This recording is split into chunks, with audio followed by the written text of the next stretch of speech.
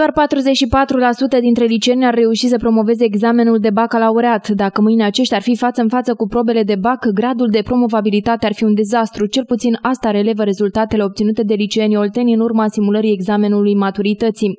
Matematica a fost și de această dată piatra de moară pentru candidați. Cele mai mici note și cei mai puțin promovați au fost exact la matematică. Mai exact, sub 35% din numărul candidaților au reușit să ia note de trecere. Elevii au susținut probele de examen sau văzut și notele, dezastrul s-a produs, ce urmează acum? Cei de la inspectoratul școlar spun că se vor lua măsuri imediate în școlile unde procentul de promovabilitate a fost mult sub medie. Vă dați seama, obligativitatea asta sau lucrurile acestea nu se impun. Ele au venit ca un rezultat firesc al, uh, al pregătirii pentru bacalaureat, ca o nevoie, pentru că sunt și rezultate bune, sunt și rezultate mai puțin bune și atunci um, uh, avem un grafic, în momentul acesta 80% din școli au pregătire uh, suplimentară, în unele școli prezența elevilor este bună, în alte școli, de asemenea, profesorul este în școală, dar este alegerea elevului dacă vine sau nu, rezultatele se vor vedea după.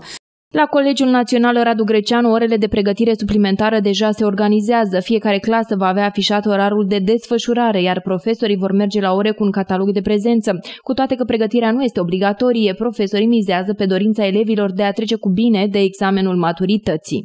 Am uh, făcut o analiză a rezultatelor în Consiliul Profesoral între timp am realizat niște planuri de remediere a situației la nivelul notelor la unele discipline, dar pregătire facem pentru toate uh, în continuare.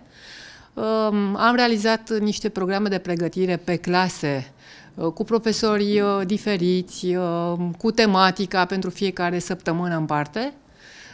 Acea programă va fi afișată la loc vizibil și în fiecare sală de clasă. Vom realiza niște cataloage de prezență în cazul în care nu participă de bunăvoie la pregătire, profesorii vor să apeleze la sprijinul părinților. În prima fază vor fi organizate întâlniri cu inspectorii, profesorii și părinții, ca mai apoi să fie demarate programe de pregătire suplimentară. Sunt programate ședințe cu părinții claselor a 11 și cu părinții claselor a 12 la ședințe participă profesorii uh, la uh, obiectele, de la obiectele la care s-au susținut probele și vor fi discuții personale, atunci vor ști.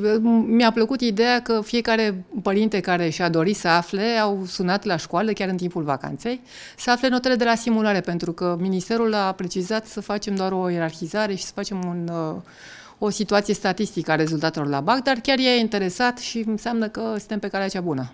Experiența anilor trecuți nu îi liniștește pe reprezentanții SJ, ba din contră, profesorii merg la școală la orele stabilite, însă constată de cele mai multe ori că sunt singuri. În cel mai fericit caz găsesc în clase câțiva elevi.